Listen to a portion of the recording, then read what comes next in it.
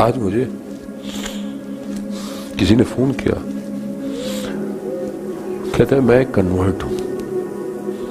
मैं कन्वर्ट हूँ शिया में। और जब से मैं कन्वर्ट हुआ मैंने पूरी कोशिश की कि मैं अपने अमल को सही रखूँ। जितना मैं बेहतर से बेहतर मेरा ईमान कहते, मगर मैं जब से कन्वर्ट हुआ, मैंने एक दुआ मांगी। कहा कहा इमाम जमाना। मुझे अपनी जियारत करवा दे। कहते, मैं बहुत अरसे दुआ माँगता रहा मौलाना साहब। मुझे इमाम मेरे ख्वाब में आए। इमाम ने मुझे अपनी जियारत करवाई। और इमाम ने कहा कि हम दोबारा भी आएँगे। कह रहे, वो दिन आज का दिन है, मैं बड़ा परेशान कहते, इमाम कब आएँगे? कहीं मुझसे कोई गलती तो नहीं हो गई मौला? मैंने कहा, नहीं, गलती कैसी? पहले भी इमाम अपनी मर्ज़ी से आए थे, अभी भी इमाम अपनी मर्ज़ी से आएँगे।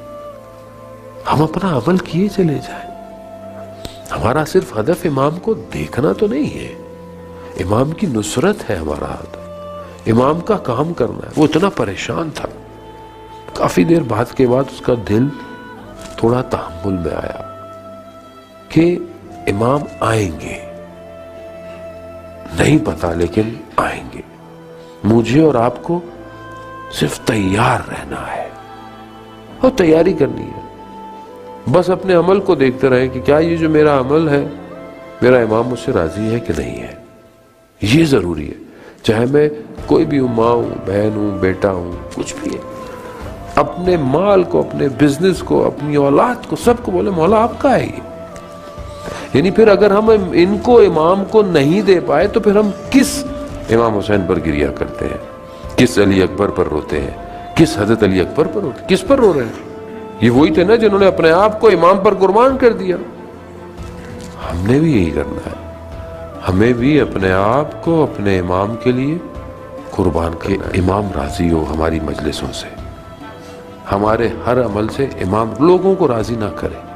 लोग कोई भी कभी राज़ी नहीं रहे इमाम को राजी करे असल वही है वही है जो करबला का बदला लेगा वही है जो ज़मीन और आसमान के मुतसिल होने का सबब है ये अबनल हसन कहाँ है आप यारा